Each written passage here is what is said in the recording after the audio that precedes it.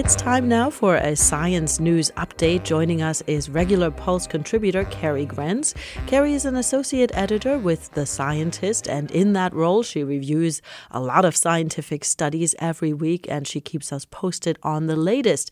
This week, her picks are young blood, female bats, and penguin flu. Hi, Kerry. Hi, Maiken. Kerry, let's start with this research on young blood. I've seen a lot about this on social media, but what is really happening with this research? Well, I will tell you don't go around drinking mouse blood. Whatever you've seen on social media, it's, it might not be true. There's room for caution here. But there has been this idea for many years now that elements in the blood of young animals can rejuvenate older animals.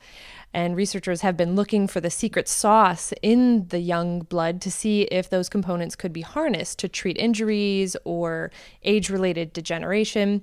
And three studies came out this week that tested various parts of the blood from young mice.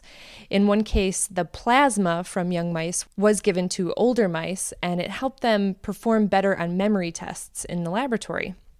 In a second case, injecting just a single protein called GDF 11 caused the old mice to sprout new brain cells and blood vessels in the brain. This protein is more abundant in the blood of younger mice and then declines with age.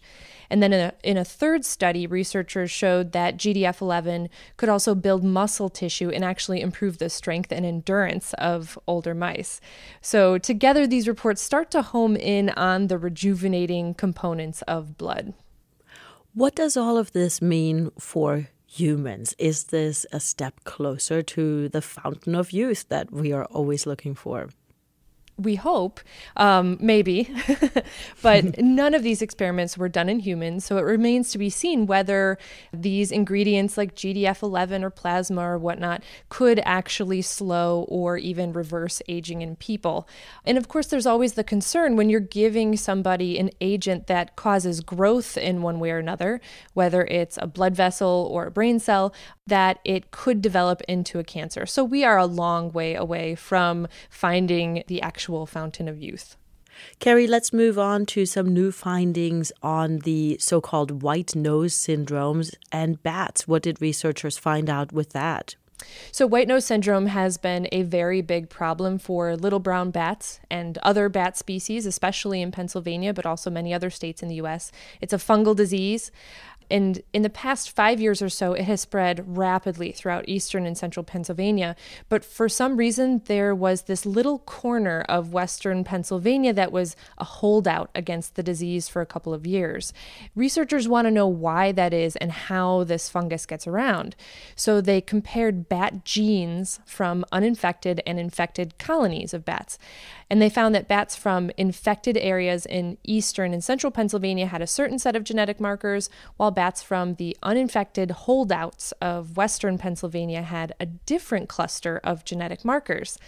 These genes were only genes that are inherited from female bats. Genes that also come from males weren't so tightly contained to these distinct regions of the state. So the researchers conclude that it's the migrations of female bats that are linked with the spread of white nose syndrome. So, will that help them contain the disease, perhaps? hopefully, at least it might help them predict where the disease might spread next, and then from there, perhaps uh, stop its progression. Finally, let's talk about penguin flu. Do, do penguins get the flu, or do they have their own flu? They get an influenza virus, but they don't get the flu in the sense that, you know, they're they're sick at least. This new type of avian influenza virus that has been detected in penguins in Antarctica doesn't seem to make them sick, but it's an unusual flu virus.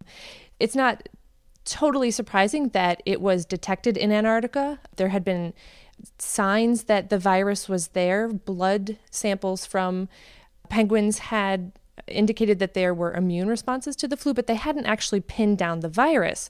So scientists took a throat swab and a cloaca swab, that's kind of the all in one hole of birds, and they found the virus and then they did some genetic analysis and they saw that the virus is totally unique. Its closest related strains of flu emerged decades ago. So they don't know how it got to Antarctica, how long it's been there, and what precisely it's doing to the birds, because as I said, none of them really seemed sick. But is this one of those strange viruses that could then affect humans?